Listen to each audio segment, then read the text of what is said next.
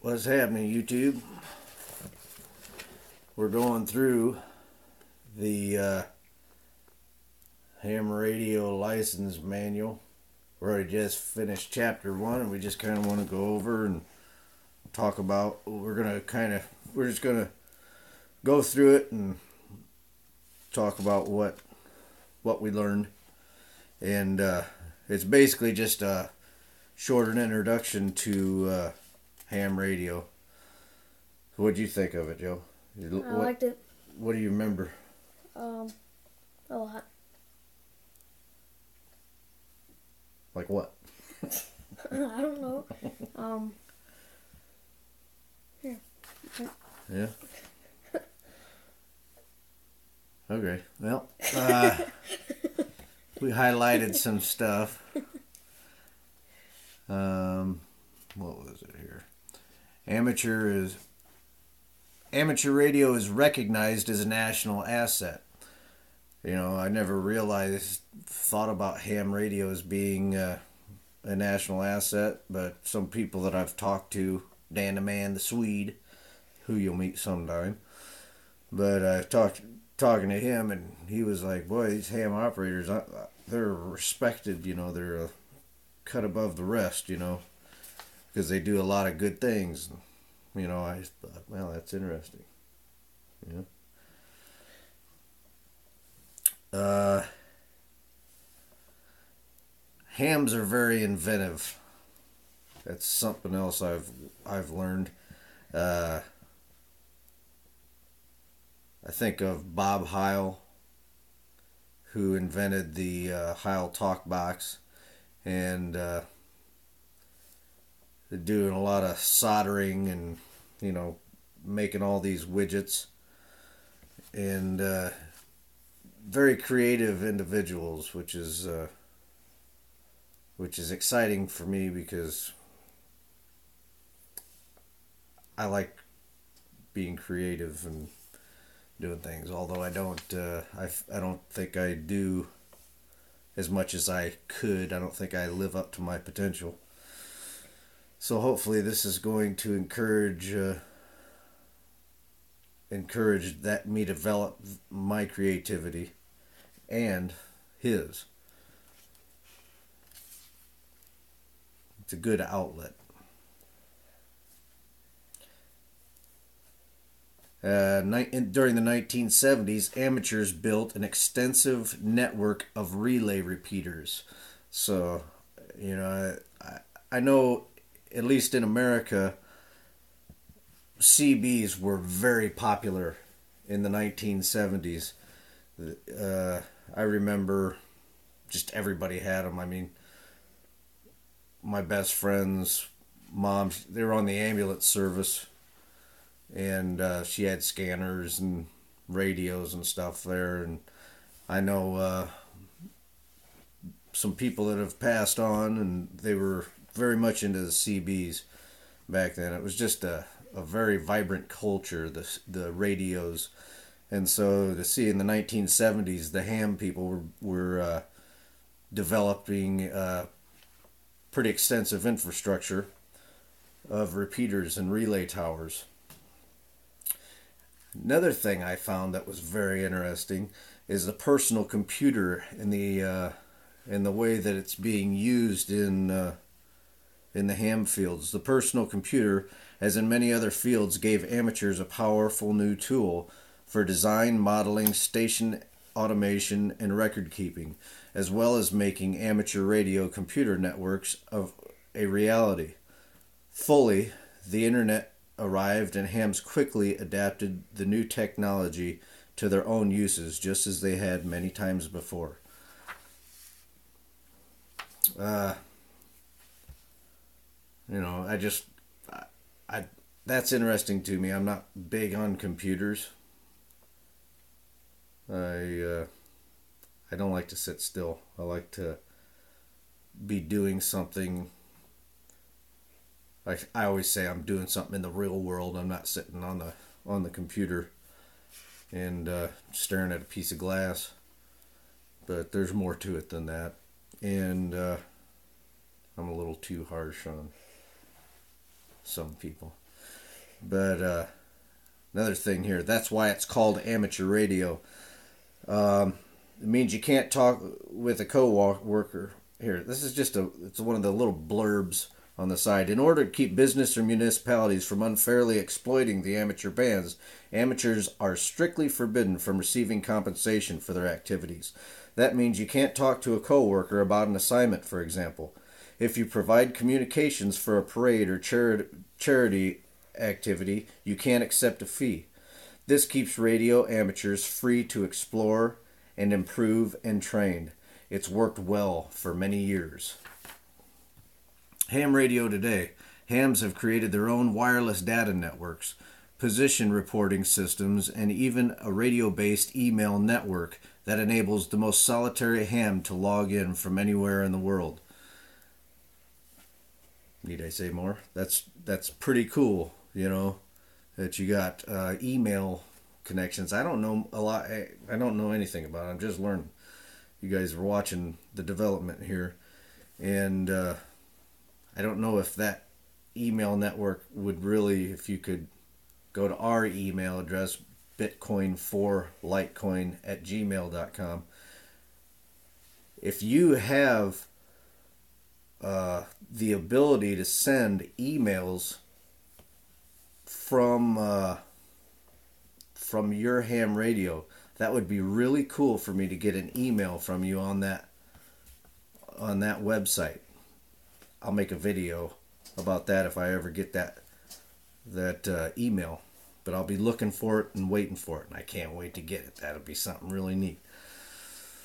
Uh, computers are a big part of ham radio today, as ham chat keyboard to key hams chat keyboard to keyboard or send pictures via radio. You'll find some hams assembling their own TV stations and trans transmitting professional quality video. I think I've already kind of encountered that with Ham Nation on YouTube with Bob Heil.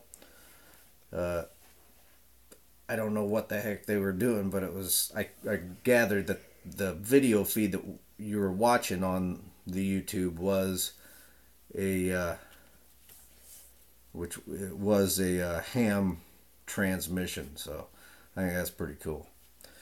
There are many amateur radio satellites whirling through orbit.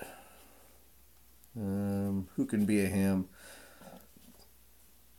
Oh, this is a cool thing. There are also thousands of people with disabilities for whom ham radio is a new window to the world. Yeah, can you imagine that? I mean, I live in a truck. I'm always out going places. I've, and when I'm not, driving the truck, when I was driving over the road, I'd come home and we'd say, I'd say, let's go for a ride. You know, when I get out of the truck, I like to jump on a motorcycle and go for a ride, or I just like riding around. You know, I just like movement. So if something happened to where I couldn't move around, that would drive me nuts. Probably so messed up that you won't even know. Yeah, but that's cool that uh, that you know you know, if you're wheelchair bound and you're stuck in your house and somebody's bringing you food and you can't even go to the store, you know, you've got an out with ham radio. That's awesome. Musicians Patty Loveless, KD4WUJ, Joe Walsh, WB6ACU. I love Patty Loveless. I love Joe Walsh. You know? uh, Joe Taylor, Joe Rudi, you know, some famous people that uh, that are in there. You want to talk about this, Bud? Um, you thought that was pretty interesting, didn't you? Yeah. Um, this guy named Richard contacted 500 different hams. Um, in 12 days when he was up in space. Yeah. It's pretty cool. So most of the astronauts are ham operators. Hmm Yeah, so you got a picture of him here. There's a picture of him. in space. You know, I think that's cool. what else? Hams also love the musicality of the code. Like the uh, Ham Nation uh, intro was written by Joe Walsh, and uh, I get into that. Uh, I I'm I really want to learn Morse code. We we downloaded an app from our phone to, for learning Morse code, and uh, you know that was pretty neat. I want to learn Morse code. You know, I'm not for the dumbing down and making things every you know simple for everybody. You know, things some things need to be challenging and some things need to be hard. You know, and uh, you know there's a benefit for working hard for something and uh, you know we're already I'm we're already talking we're going to learn Morse code and we want to be proficient in that. Hams have a build it yourself ethic called home brewing. I like homebrew. But uh it's a different kind of homebrew. but uh no the, the big reason why I want him to get into the radio stuff is for this home brewing mentality where you fix your own stuff and and uh, make it operational you know. You know some of my other videos you see me throwing joe under the truck making him making him do uh, the dirty work you know. But that's to get his hands on. I want him to you know i think the most valuable people in the world are the people who repair things and make things work you know, anybody can use something that somebody else made, but when it breaks, if you can't fix it, you're done. You know, and I've, you know, I've worked, you know, driving a truck, I go from different places to different place, and I, I've just learned that, you know, the indisposable people are the people that fix things and repair things. So I like that homebrewing ethic in uh, in uh, ham radio, and I wanted to, you know, instill that into him because I don't fix as, much as I could. Uh, you know, I don't know. I'm not much of a tear it down and fix it guy, but I need to be, and I'm gonna push. I'm gonna develop that in myself. Uh, ATV, amateur television and there are even ATV transmitters flying in model aircrafts and balloons that ascend to the edge of space. Don't know anything about that. That's all it said. But yeah, put an antenna on uh, on a balloon and send it up in the sky. Crazy. uh, what else? What do you think, Joe? Mm. Anything? No. Uh you know, the FCC is charged with administrating all of the radio signals transmitted by U.S. radio stations. Um, QTH means what's your location. QTH and CB, you know, what's your 20, where you at, man? Uh, so QTH is the same thing as your 20 with the CB. Technicians Technician licenses are granted privileges on the radio airwaves referred to as the VHF and UHF bands, and a few privileges on the HF bands. You'll learn what those terms mean as you study. Good, because I don't really know what they mean. I saw it on the on the uh, on a Stryker that I bought. I just talked about that. Or you can talk about it. No, I, no. Listening to a skilled Morse code operator is quite a treat. I bet it is if you know what the heck's going on. Ever. One of the most important functions, repeated three times in the list above, is to is to relay communications. It is no coincidence that the third letter in the ARRL stands for relay, the American Radio Relay League. So you know that's that's passing the passing the the uh, message on, right?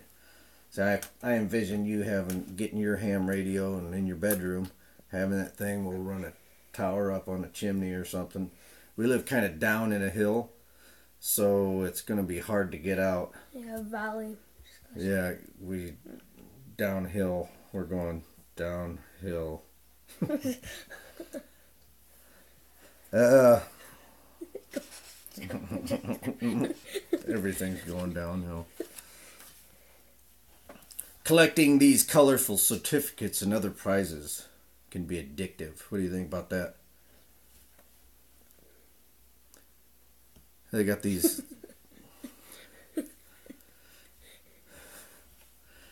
they got contests and stuff. You know, contact different twenty states. The Oscar Satellite Communication Achievement Award. Contact different states. That sounds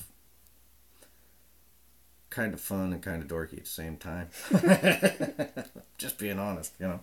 But whatever, you know. I mean that, but that, but I think the the uh, it's not just to, you know, hey, I contacted twenty people in twenty states. It's basically it's a way to develop those skills of you know getting signals out and you know practice, and so you do it in a fun way, a contest, you know, and then you get a little certificate, and so that's cool. That is cool. So that's really what it's comes off as maybe a little nerdy or dorky or something like that, but it's actually there's a purpose behind it. You know, the competition develops your skills. Packet radio. Do you know about packet radio? I don't understand it. But it's a special kind of data interface called a terminal node controller, TNC. Takes characters from a computer and repackages them into data packets which are transmitted by a regular unmodified radio, usually on the VHF or UHF, UHF bands. That would be the technicians, not ours, because we're not technicians. Someday. so, packet radio. It's another another uh, way that uh, the uh, computers are mixing with ham. It's kind of interesting. And the way uh, GPS and uh, what is that? APRS, Automatic Packet Reporting System. So they're taking GPS locations and sending them out. I don't quite understand it. Maybe I'll read the highlighted part and it'll refresh it in my head again. Other users can log on to the APRS servers and find the location of anyone sending position data by tracking their movements on maps of various detail levels. It's fascinating. My mind ain't there, so it's not that fascinating as it was when I was reading it. Meteor scatter and EME. Now that is fascinating to me because I remember it, what it was. The trail of a meteor can reflect radio signals during the few seconds it lasts. A skilled amateur can use the trail to bl- to make short contacts. The biggest reflectors in the sky the biggest reflector in the sky is the moon, and hams can bounce their signals off the moon and hear them when they complete the round trip back to Earth. Cool. Shut up.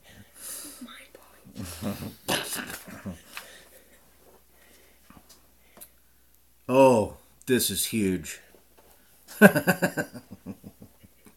you can use a calculator during the exam. We were both like,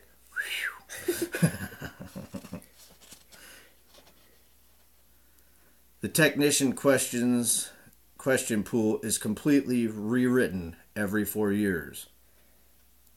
I don't buy it because I was listening to an older uh, YouTube video, something that FCC is uh, regulating the uh, airwaves under Section 97, right? Something like that.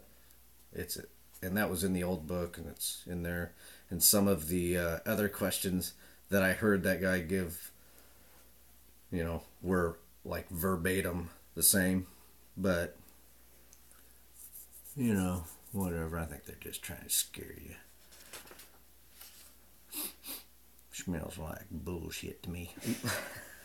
Shouldn't do that. Sorry. you can't scare me. So you excited, Joe? Mhm. Done with chapter one, bud. I keep screwing that up. So much for privacy. so what do you think, Joe? If you haven't looked yet, check our playlists. Get on the playlist and uh, Playlist. it, what's the playlist? The playlist. If you go to my channel, my YouTube channel or our YouTube channel, it's not more mine, but uh, it's ours. It's mine. but if you go into my channel and I don't know how to tell you how to get there, but I know I've.